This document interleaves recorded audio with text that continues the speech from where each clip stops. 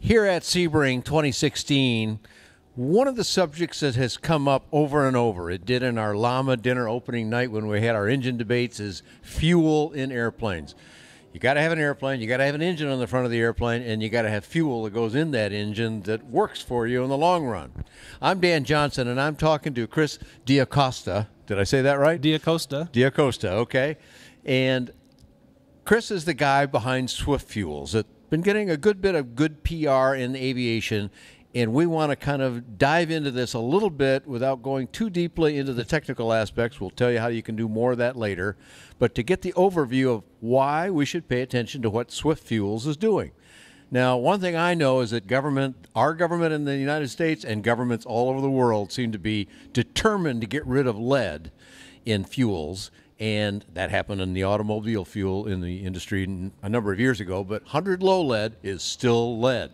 Swift doesn't have any lead in it. Is that That's correct, Chris? Absolutely correct. Give me the details about that. Okay, so lead is a neurotoxin. The medical community, which is why the EPA and others want the lead gone, it doesn't metabolize in the body. That's why they want the lead gone. So we, our company is all about unleaded aviation gasoline.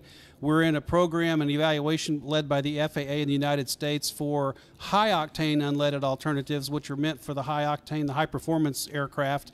But of course, at Swift, we've discovered that uh, there's a large number of lower octane requiring engines that are just very happy with the lower octane alternatives. So we've introduced a fuel.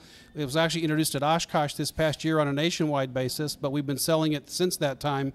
A 94 motor octane avgas. So typically engines require motor octane ratings, but not all engines, and we'll talk a little bit about that.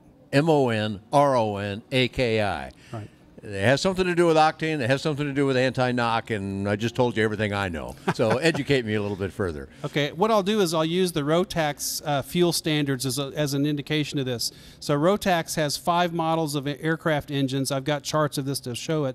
But their, their basic engines require a minimum 85 motor octane number, which is equivalent to a 95 research octane number, which is equivalent to a 91 anti-knock index or AKI. So 85, 95, 91. Now, what is it we the, see at the pump? What's yeah, the, so what, what what's the see, value we see at the pump? What you see at a gasoline station when you pull in is the AKI. It's the middle number. And if you look closely at those little yellow stickers that have those, whether it says 87, 89, 91, 93, it, it also has the formula. It says R plus M divided by 2. That's the research number, the high one, plus the motor octane, which is the low one. Okay. The added together divided by 2 is the average, which is the AKI, the anti-knock index. When you buy autogas, that's what you're buying. The, the low number, the motor octane number, is the number that's traditionally used for airplane avgas, for piston engine avgas. So if you buy, let's just say 91 at the pump, 91 AKI, that's probably an 86 motor, and we're selling a 94 motor octane fuel, eight motor octane points higher than autogas. That translates into a higher safety margin for anti-detonation purposes.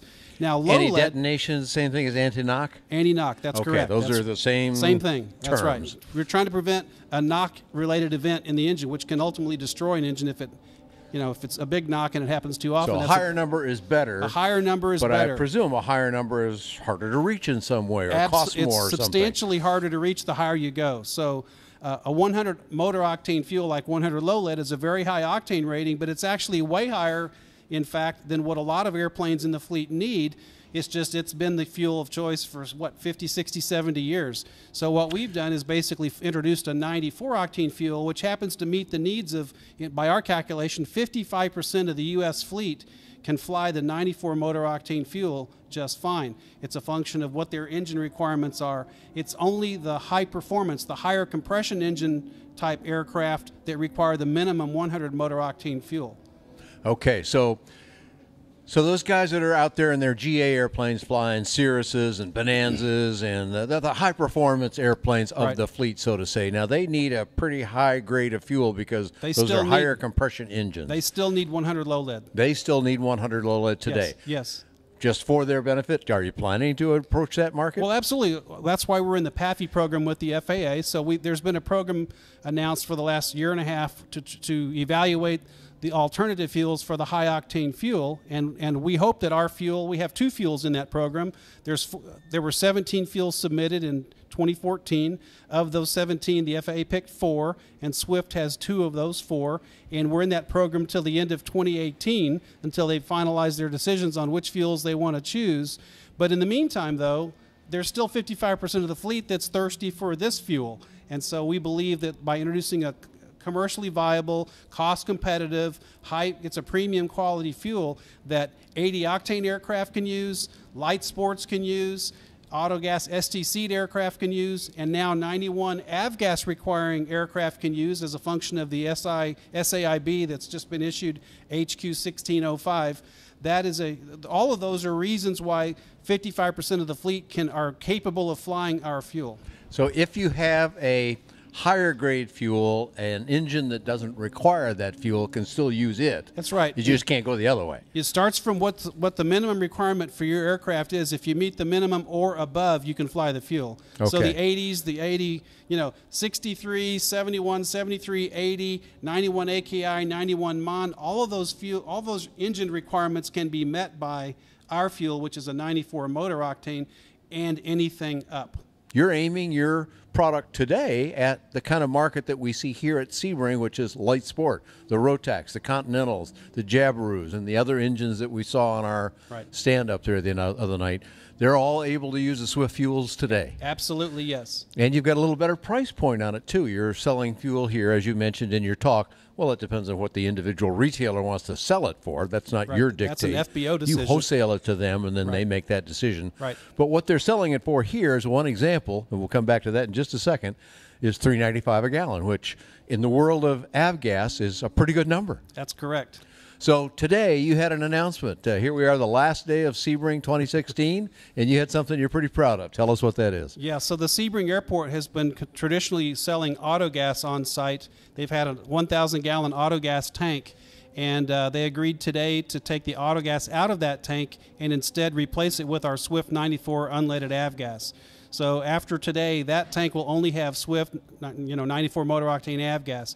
We're super proud of that. We thank the airport, the airport board, the uh, Volo Aviation, uh, the FBO here, as well as World Fuel, who helped bring the fuel truck. And there's been a lot of others, yourself included, but uh, Phil Lockwood, the Hanson brothers, and a bunch of others that are here at the air show have all voiced their their their support for the fact that this unleaded aviation fuel is really a, something that's desperately needed. So we've gotten rid of the sort of off gasp off grade auto gas, whatever that is, and we put into a high premium product which meets a whole bunch of ASTM standards for avgas and autogas that I explained in my in my talk. So it's really a better fuel anyway than the auto products are. Maybe they're fine for autos, but this is airplanes, Yeah. and they're not getting the same quality fuel. I guarantee you the quality fuel they're getting in those kind of uh, auto gas tanks that you're talking about is far inferior to what we're offering. We're offering a very high motor octane, which provides the anti-detonation.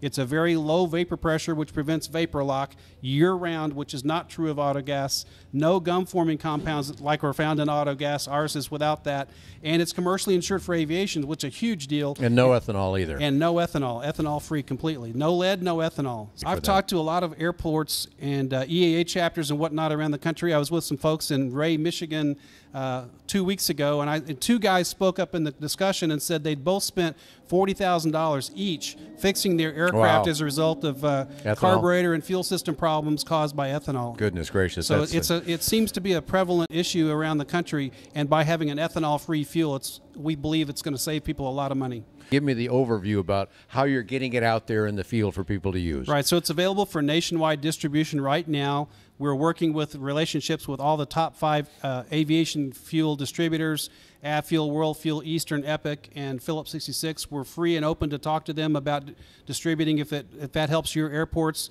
We've worked with some independent distributors and some of the more remote airstrips or airfields uh, that don't have existing relationships. But, but bottom line, we'll work hard to make sure that the fuel gets to where it needs to go. We've got targeted Cali- the, the West Coast, basically California being a major uh, focus area, Florida, the southeast coast, uh, the northeast region, New York area, Philadelphia, and so forth, the Midwest, and ultimately Canada. Uh, there's some people that have already called us in relation to that opportunity there. So we're working in all these areas. And as a small company trying to increase our reach, we also have relationships with several of the major oil companies who've offered to help. And we're working with those people now as we grow the uh, as we grow the market and reach certain levels or tranches of volume. We can move into the major oil companies helping do the same thing with meeting our spec. So we control the spec. So my, team, uh, Brian Sturm, Thomas Albuzat, John Zukowski, all three are pilots. They're here today at Sebring. They, they just poked their head in the door just now. They've been emptying that fuel tank of autogas and putting our avgas into it. Uh, so we have a, and there's more of our team, but those are those three here are pilots. So they bring a lot of uh, pilot savvy to our to our thoughts here. Great stuff. A lot of good information. Uh, we're in danger of giving people sensory overload here with too much information. So let's give them an opportunity to go explore more. For those that say, fine, I've already heard enough, I just got to figure out how to get the stuff, so they can contact you for that. But others that say, well, I have a specific detailed question, where can we send them on the web? We'll put it up on the screen. Just give us your web address. I'll give you several f- points to think about. So you can come to www.swiftfuels.com. Uh, that's our main website. You can call us uh, 765 237 3195. We also have relationships. Burt Rutan's flying our fuel on his uh, floater. Uh, Rick Volker is an acrobatic pilot out of Niagara Falls, New York. He's been flying our fuel for more than a year now. Uh, Chris Rounds down in Tullahoma, Florida. Now the fuel's in Sebring. We have a lot of, I guess, plant, planted folks that have got experience with our fuel. The Able Flight program has been using it on Rotax engines for the last two and a, two years at Purdue. So there's a lot of Purdue knowledge about the fuel, and, and, as well as our own knowledge. So there's a lot of places that we can point you to. We've got Rotax reports and other things that can help people digest this fuel and understand it from a technical standpoint to get comfortable. We're very confident the fuel will be received well by everybody. All the comments are excellent. We're, we're very. Oh, another one is Griffith Merrillville, which has the G&N, the rebuilders of piston engines, G&N aircraft, and they have our fuel, and they're the experts of rebuilding engines, and they love our fuel. Excellent stuff. Well, a lot of good information there. SwiftFuels.com to get more information directly from Chris and his team. Uh, we'll try and keep up with that on my website as well, and you can find all kinds of information about affordable aircraft of all sorts on bydanjohnson.com. Thanks for joining, Chris. Chris D'Acosta. That's me. I'll get that eventually. Thanks for joining Chris and I here at Sebring 2016.